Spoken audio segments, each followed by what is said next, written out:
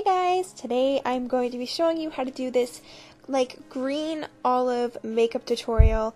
Really pretty and uses more neutral colors so if you don't like to experiment too much you might like this one. So yeah, I'm going to jump into the makeup tutorial now. So step one is to prime your eyes with any eyeshadow primer. I'm using this one by e.l.f. and I'm applying that to my eyelid along the lower lash line and also in the inner corner and then I'm just blending that out with my finger. Then I'm taking Coastal Scents Metal Mania palette and I'm taking this shimmery olive green and I'm going to apply that to my eyelid.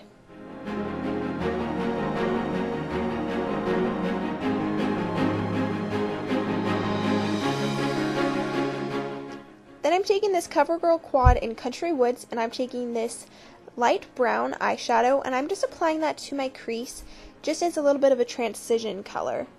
Then for my Coastal Scents palette, I'm taking this dark brown and I'm just applying that to the crease and outer V corner.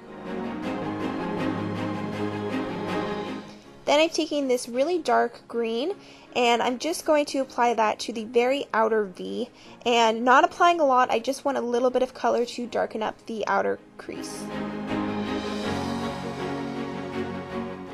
Then I am taking this light shimmery eyeshadow and I'm going to use this as my brow and inner corner highlight. So I'm going to make sure to blend out the crease colors with the brow highlight really well because I don't want any harsh lines.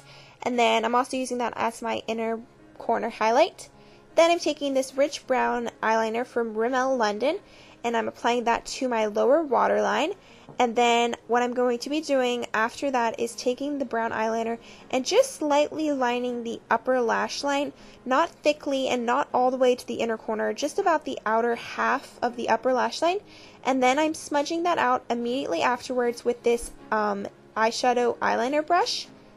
And then with the same dark brown we put in the crease, I'm going to line that underneath the waterline and then whatever's left on the brush after smudging the lower lash line out with your finger, I'm just going to take that to the upper lash line. Then I'm going to curl my eyelashes and apply brown mascara and I'm using the Clump Crusher by CoverGirl.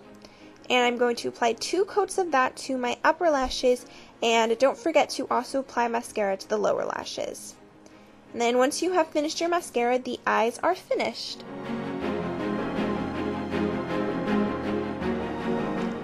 Then I'm taking this Kate lipstick from Rimmel in number 17, just a really pretty nude pink, and I'm going to apply that to my lips, and after applying it to my lips, I'm just going to um, blend that out with my finger.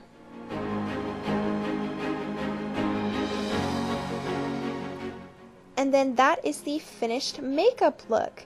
So I hope you guys enjoyed and like this makeup look. Let me know what you think in the comments below, and I will see you guys in my next video.